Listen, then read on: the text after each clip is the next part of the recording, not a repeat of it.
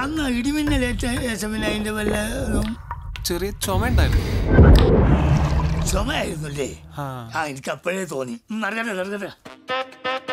ഒരാൾക്ക് ഇടിമിന്നലേറ്റാൽ megawatt കണക്കിലാണ് power അയാളെ ശരീരത്തിലേക്ക് കയറുന്നത്.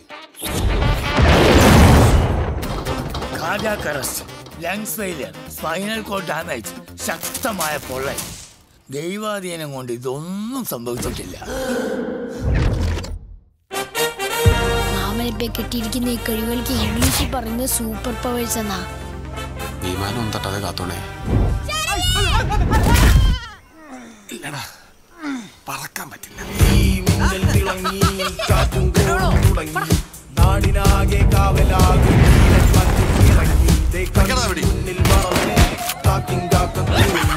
കൂട്ടമോടെ കേട്ട് നിന്ന് ടിഷ് നിനക്കെന്താ മിന്നലടിച്ചിട്ട് പ്രാന്തായ?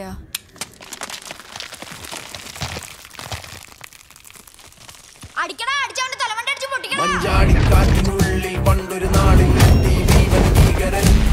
ഇത് പാകപ്പാടെ കൺഫ്യൂഷൻ ആയല്ലോ പുല്ല്.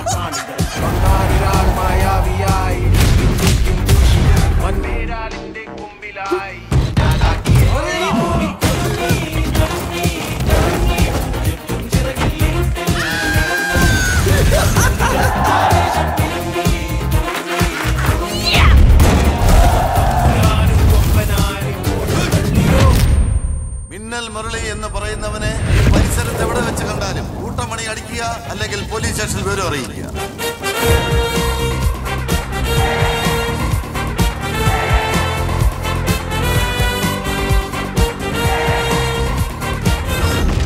സാർ ഇപ്പൊ ചാടിക്കേറി ഒന്നും ചെയ്യാൻ നിൽക്കണ്ട.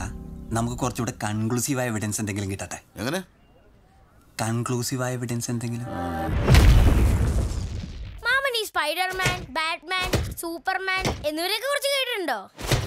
ഇല്ല. ആരാമാര്